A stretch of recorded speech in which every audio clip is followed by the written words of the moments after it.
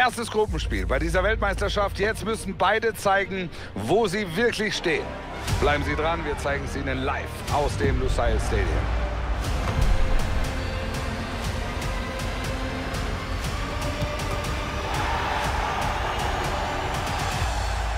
Willkommen im Lusail Stadium, liebe Zuschauer. Ich darf Sie ganz herzlich zu diesem heutigen Spiel begrüßen. Ich bin wie gewohnt Wolf Fuß. Zusammen mit dem Kollegen Frank Buschmann werde ich das Ganze für Sie kommentieren. Auf unserem Programm steht am heutigen Tage das erste Gruppenspiel bei dieser WM. Deutschland gegen Japan. Es sind zwei Mannschaften, die in diesem heutigen WM-Gruppenspiel einiges zeigen wollen. Das Stadion ist voll, Stimmung ist super, es ist angerichtet für ein Fußballfest.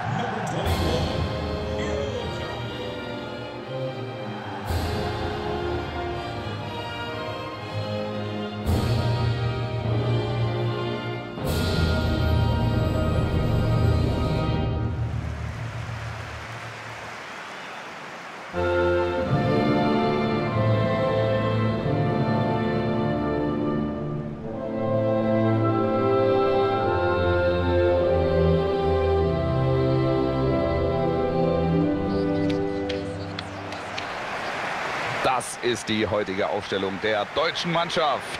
Im Tor ist Manuel Neuer. Niklas Süle spielt neben Antonio Rüdiger in der Verteidigung. Joshua Kimmich steht neben Ilkay Gündoğan in der Mitte. Und Kai Havertz ist heute erstmal der einzige echte Stürmer.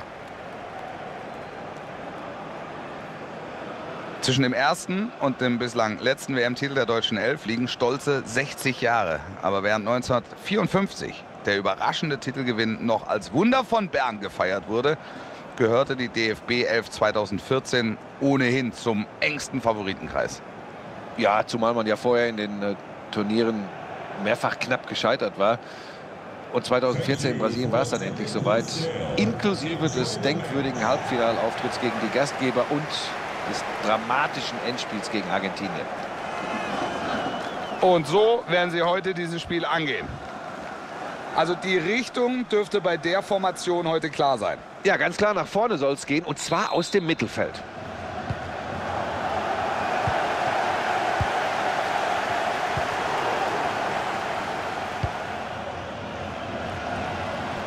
Sie wollen den Gegner laufen lassen. Guter Seitenwechsel.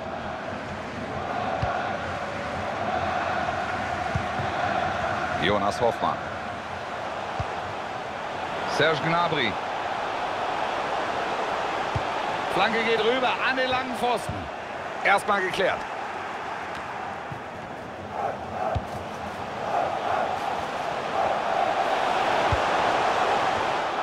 Ballverlust durch Serge Gnabry. Wer wird hier heute der Schlüsselspieler? Serge Gnabry wäre auf jeden Fall ein Kandidat. Tja, der kann am Ball natürlich alles. Das ist sensationell.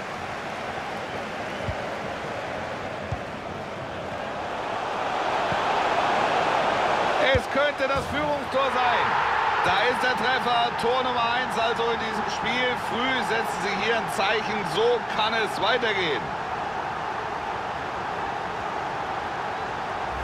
Hier haben wir dieses Tor nochmal in der Wiederholung. Zuerst der Steilpass und dann Serge Gnabry.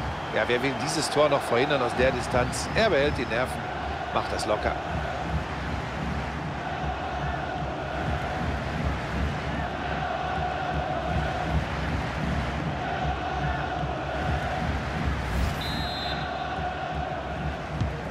Sie sind jetzt also in Führung. 1-0.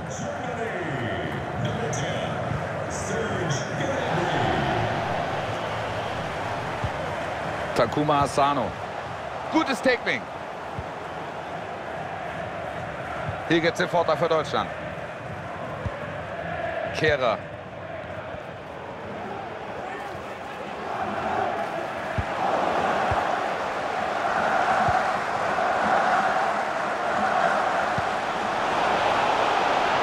Viel Übersicht. Ja, das ist abseits. Zu früh losgelaufen. Aber das ist natürlich eine vielversprechende Strategie. Sie wollen die Abwehr zu Fehlern verleiten. Sie spekulieren auf die Lücke, spekulieren auf den optimalen Pass. Hier kam der Lauf etwas zu früh. So, rüber. Auf die andere Seite. Jonas Hoffmann. Geht dazwischen und hat den Ball.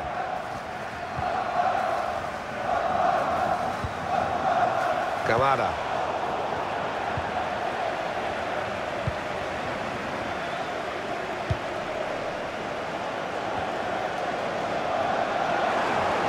Sie haben den Ball.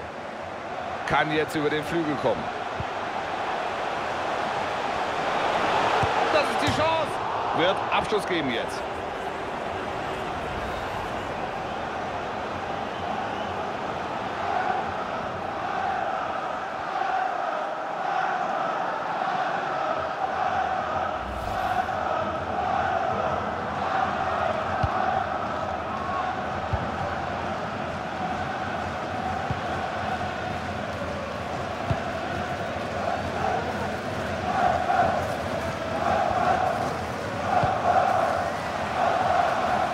Kehrer. Theo Kehrer. Ball soll zu Havertz. Und damit war es das erstmal da hinten. Da ist das Pressing erfolgreich. Kehrer. Serge Gnabry.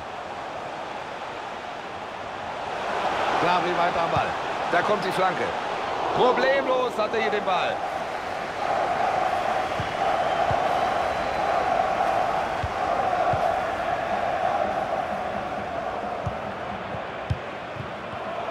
Ja, dieser Ball kommt nicht an.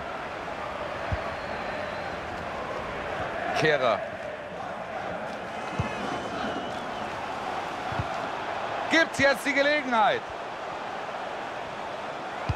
Ah, das war dann zu harmlos. Ball ist weg. Kurz vor der Pause liegt die deutsche Mannschaft knapp vorne. Sie können durchaus zufrieden sein mit der heutigen Leistung. Noch ist es knapp, ein Torführung, aber man spürt, sie haben das immer mehr im Griff. Sie wollen heute den Sieg und das kann auch klappen, wenn sie denn nach der Pause so weitermachen. Da bleibt der Ball an ihm hängen. Ja, da war noch einer dran, gedeckelt.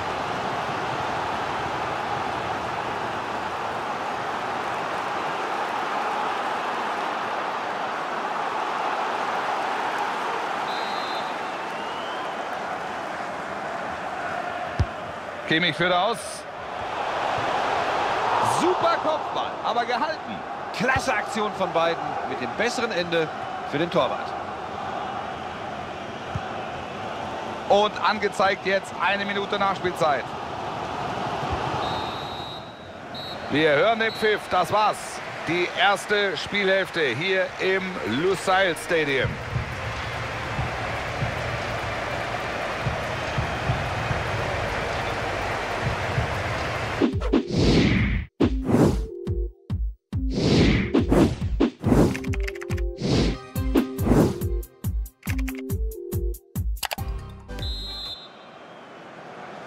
WM-Gruppenspiel Nummer 1. Los geht's mit Durchgang 2. Jetzt wieder Ballbesitz für die DFB-Auswahl. Gnabry. Ilkay Gündoğan. Ball wird hier erstmal geblockt.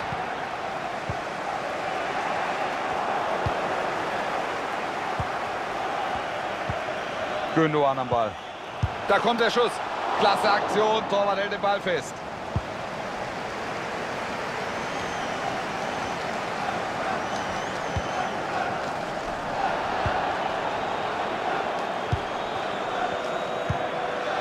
Musiala.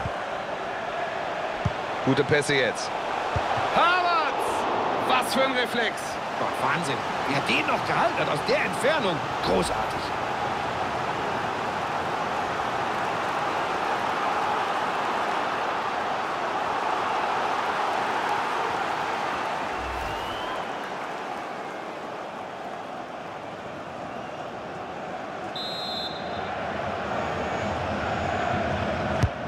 Ecke kommt von Kimmich.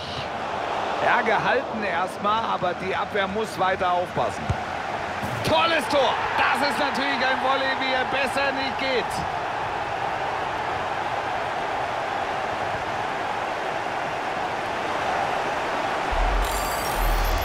Da ist das Tor nochmal.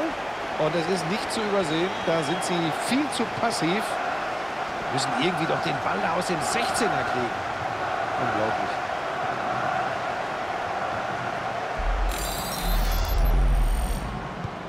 ...2-0 steht hier. Sie machen einen guten Eindruck.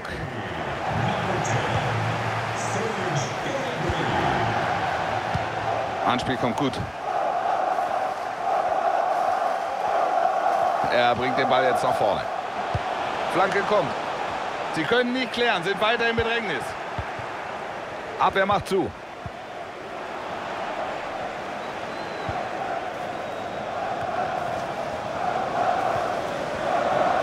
Gut verteidigt.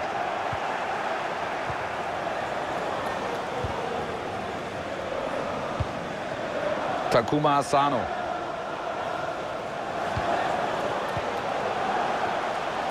Schön zugemacht, sie unterbinden diesen Angriff.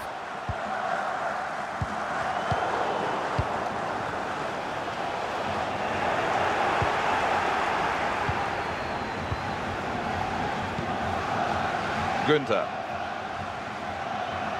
Ja, da ist Platz jetzt. Kimmich.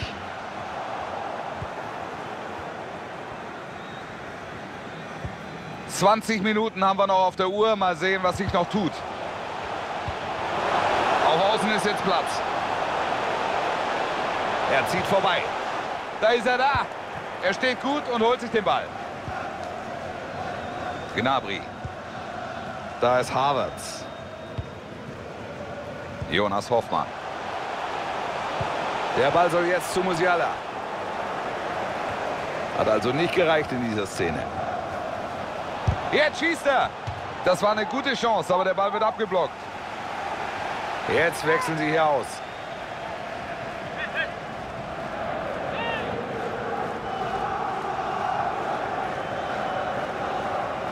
Substitution for the hosts. Coming off the pitch,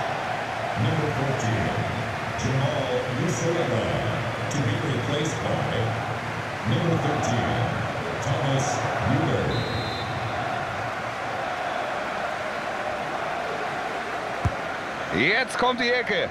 Er holt sich diese Ecke ganz konzentriert. Den Ball wollte er einfach.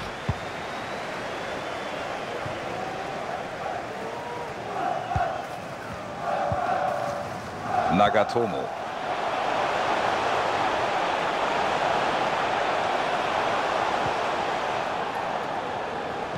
Da ist die Flanke. Da geht er dazwischen. Es bleiben hier noch acht Minuten. Günther.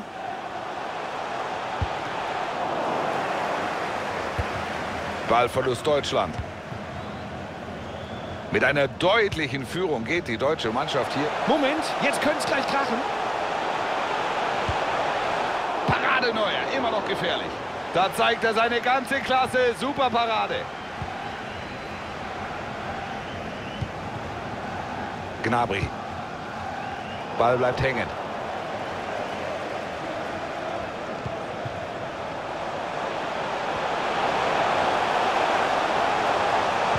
Flanke kommt nicht durch. Super Volley, aber kein Tor. Das war technisch herausragend gemacht. Das stimmt eigentlich alles. Es fehlen nur die entscheidenden Zentimeter.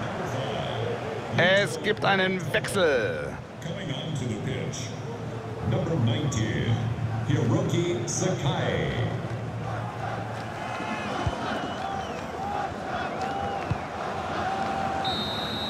Das war's für heute. Wir hören den Schlusspfiff. Das Spiel ist aus. Und der Sieger, das sind heute die Gastgeber. Sie holen sich den ungefährdeten Sieg und das, zumindest aus meiner Sicht auch, absolut verdient. Sie waren hier die stärkere Mannschaft.